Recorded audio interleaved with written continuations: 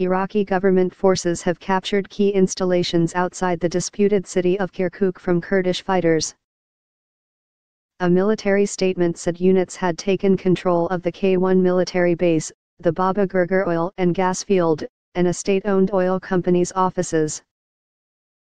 Baghdad said the Peshmerga had withdrawn without fighting, but clashes were reported south of Kirkuk.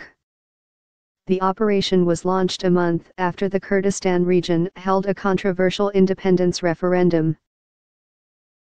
Iraq's prime minister has said the vote, in which residents of Kurdish-controlled areas, including Kirkuk, overwhelmingly backed secession, was unconstitutional.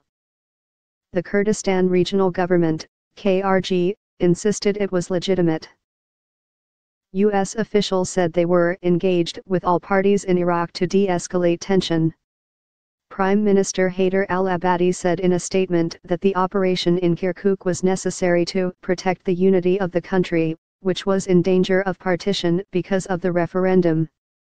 We call upon all citizens to cooperate with our heroic armed forces, which are committed to our strict directives to protect civilians in the first place, and to impose security and order, and to protect state installations and institutions, he added. Earlier, the Iraqi military announced that elite units had been redeployed at the K1 base, about 5 kilometers, 3 miles, northwest of the city of Kirkuk, and that other troops had taken control of the nearby Laylan area, the Baba Gurgur oil field, and the headquarters of the North Oil Company. The military also said troops had taken control of a military airport, police station, power plant and several industrial areas, as well as key bridges, roads, junctions.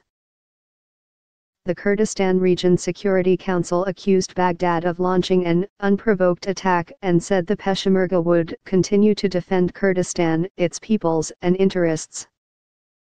Peshmerga had destroyed five US-made Humvees used by the Popular Mobilization, a paramilitary force dominated by Iran-backed Shia militias, it added.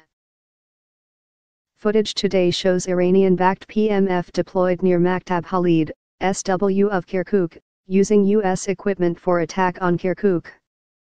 Number support Kurdistan pic.twitter.com slash BAJU 2YPVZP End of Twitter post by at KRSC Press. Peshmerga spokesman Brig General Bahzad Ahmad told the Associated Press that the fighting south of Kirkuk had caused lots of casualties.